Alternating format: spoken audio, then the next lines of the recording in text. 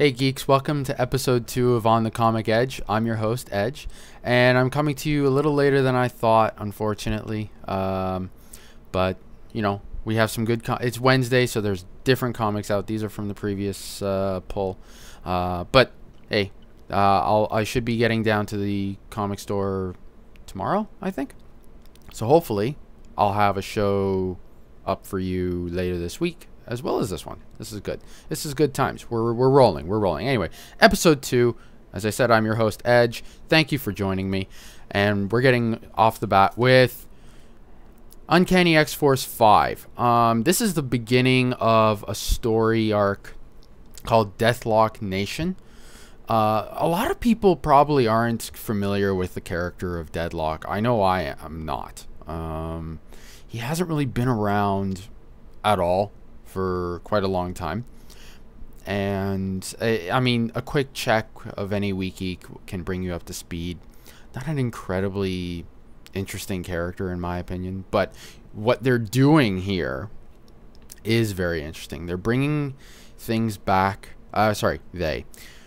Writing, Rick Remender, uh, art team of uh, Ribic, Lucas, and Wilson basically what we have here is they're talking about the world. Now, what is the world? The world is the um, the origin of the weapon um, of the Weapon Plus program. It was their uh, it was their lab, their home. It existed slightly outside of normal time. They were able to manipulate time in there. So there was a lot of stuff. Now this originally deals with, as you can see from the cover, we're dealing with Fantomex getting getting royally pwned by a bunch of people who don't look quite normal. As you can see, you you know, there's the different eyes and there's some stuff going and you know, there's since when does Spider-Man have a claw? What's going on? Anyway, so basically what the idea is that uh, these people have been infected. I don't want to give away too much, but it's you know what? It's a worthwhile read. The art doesn't blow me away, except for a splash page, which I'm not going to spoil for you because it's kind of loopy. Um, but it's it, you know it's only a few pages in. It's pretty good. It's a good read. The art is good, not spectacular, but good. Um, X is a very interesting character who I've been waiting for them to kind of get into. I knew that they were going to play him up a bit more. Um, when uh, the last uh, in the last issue when he uh, he's the only one who's got the guts to put a hole into uh, into Kid uh, Kid Apocalypse's uh, noggin. That was cool. That was very interesting. You see the aftermath of that. Um, some people who are interested in the Deadpool character as an actual character and not just a, a conveyance of comedy stunts, you'll want to pick up this issue. Uh, there's also, you know what? I, I do want to say one thing about the art. Deadpool has a mask on, and so does uh, X, actually. But when their mouths are really big or when there's a lot of emotion behind that mask, you see it stretch in a very realistic, sort of vinyl way. Um, that is something you don't see a lot in comics. I really like it. It brings an authenticity, a uniqueness to this uh, to the um, artwork uh, good on them for doing that. Moving on. Um, it's no shock that I'm a huge fan of the Marvel Cosmic. And one character that I've been really interested in them bringing back is Silver Surfer. So we're dealing with Volume 1 here.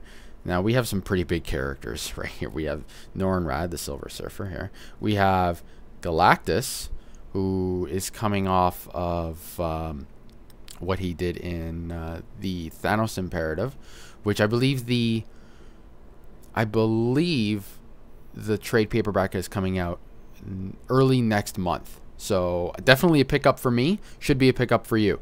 Uh, and if you like that, just keep going back with the trades. Keep keep finding out what's going on in the Marvel Cosmic Universe because everything since Annihilation has been absolute freaking gold. Um, so we have, uh, and, and also, sorry, we have uh, the High Evolutionary, who kind of shows up in the second half.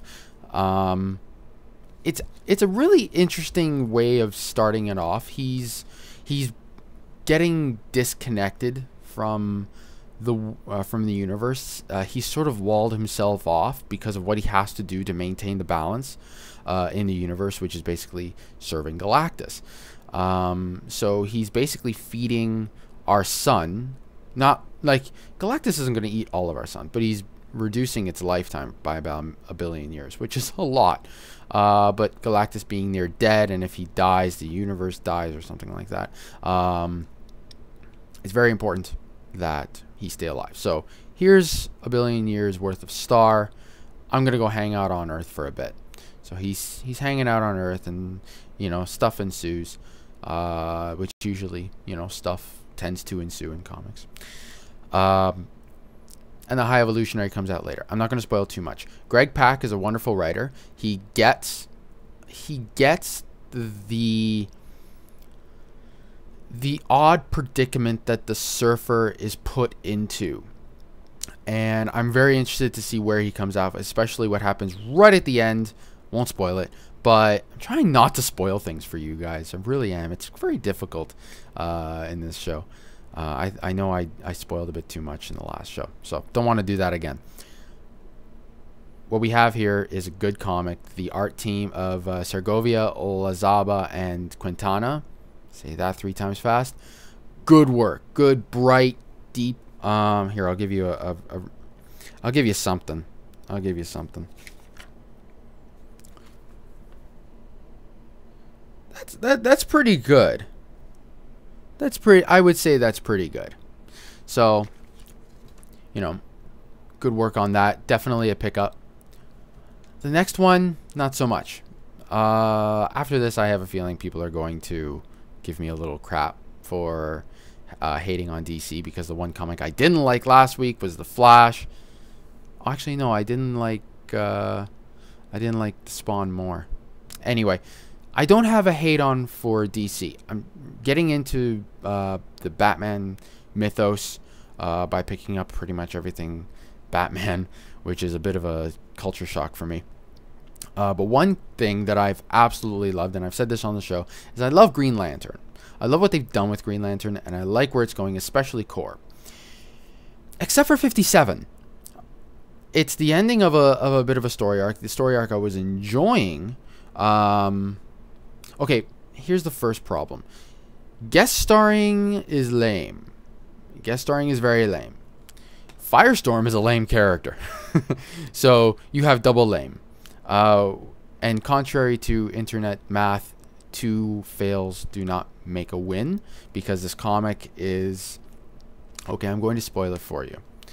Um, there's a big fight, which turns into a bigger fight, um, and there's more fighting, and this then there's some angst to cut up the fighting, and then at the end, one okay. Um, the main character makes a decision, not the main character, but the main antagonist of this story arc makes a decision that is so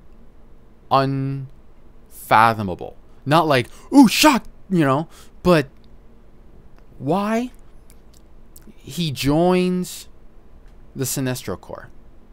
He joins the man that he that he absolutely despises to the point where he has created weapons of awesome power, uh, cut himself off from his own people, and kidnaps th- this guy's daughter just to get him to his planet so that he can kill him, and then he joins him.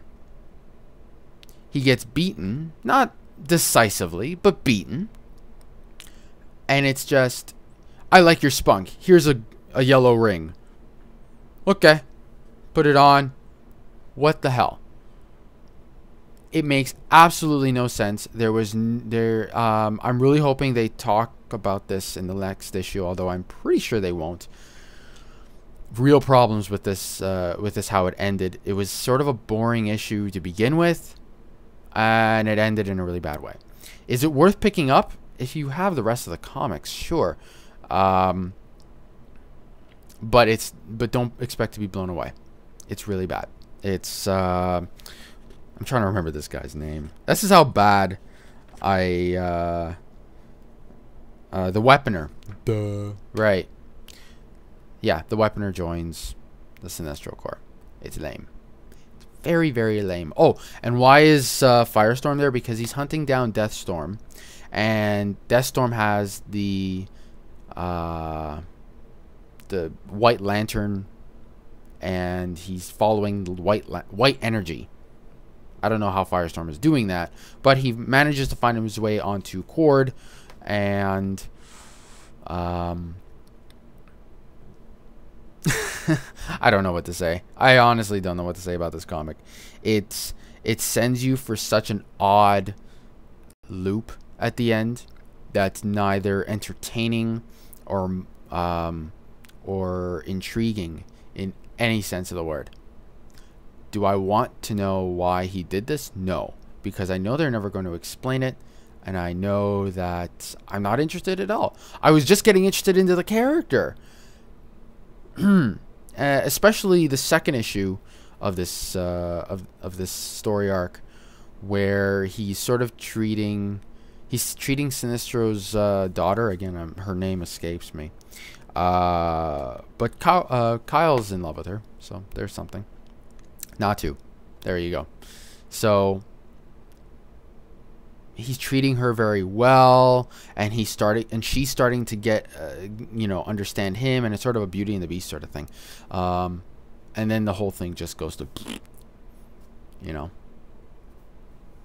I don't know what to say about that. Anyway so those are the three comics. I'm going to be dropping by hopefully the the store next well tomorrow i think. And uh good stuff good stuff ahead so hope I don't know what's even in the pull list this week. Uh, so yeah, it'll be interesting. All right, take care. Bye bye. Uh, stay geeky.